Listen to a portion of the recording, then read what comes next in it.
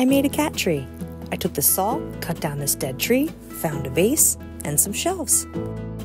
I started by attaching the tree to the base.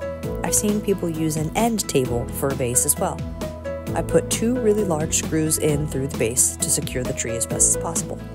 Added felt to protect the floor and for easy sliding. I didn't have the right saw to get the cleanest cut, so the tree was still a little wobbly. I added more screws at the base. Sniffing. The first shelf was simple two screws right in between the branches. To create the scratching post, I removed the bark from the bottom of the tree and sanded it with rough sandpaper. I bought jute rope for 10 bucks on Amazon and used food safe Gorilla Wood glue. Then I added the next shelf. I'm kind of winging it because I've never done this before. I'm trying to figure out how to stabilize the shelf. Kitty came by for a quick test. I found a small piece of wood to stabilize it really well. Next, I trimmed off the end of an unnecessarily long branch started on the rugs. Box cutter, staple gun. Luckily, I had these two perfect squares of rugs left over from our project. I cut them to fit, then I peeled off the back and stuck it to the base.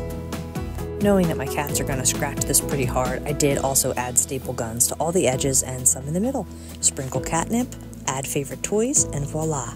You have yourself a cat tree tower and a happy kitty.